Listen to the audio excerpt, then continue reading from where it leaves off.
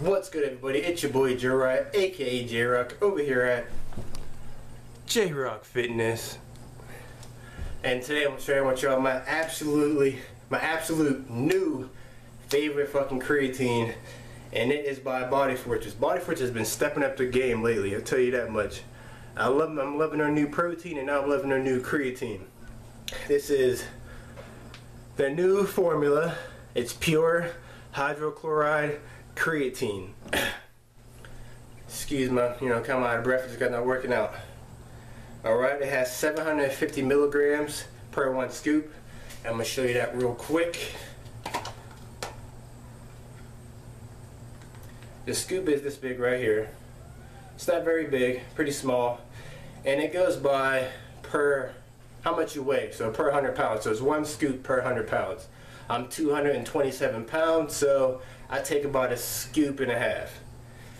I love this. It mixes very well. And when I normally take my creatine, I just get the scoop, throw that shit in my mouth, get some water, and chug that shit down. But this shit tastes so good, so good, that I actually mix it in a cup just to I just so I can enjoy the flavor.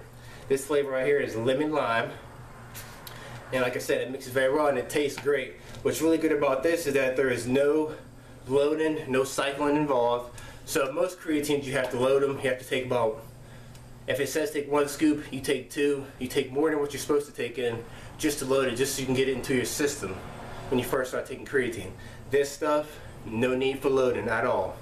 No need. You just take what it recommends for you, okay? And also, it's a highly concentrated formula, and like I said, no cycling involved. So I don't mean don't cycle a thing. Uh, it's up to you if you believe that or not. I really don't believe in the whole cycling thing, but that's mainly because I only take creatine on the days that I work out. So I'm not really too worried about cycling creatine. But like I said, yeah, this stuff tastes great. It cost me 13 bucks at Walmart. Mixes well. And honestly, I got results right after I started taking it. I've been taking uh, GNC's creatine brand. It's been good to me, but I feel like I needed to change it up.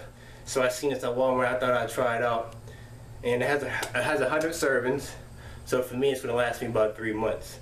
For someone else, if you take it every day, maybe about a month and a half, two months. But yeah, like I said, it gave me a better pump, and I actually increased a couple reps when I first when I took this for about a week. I increased a couple reps.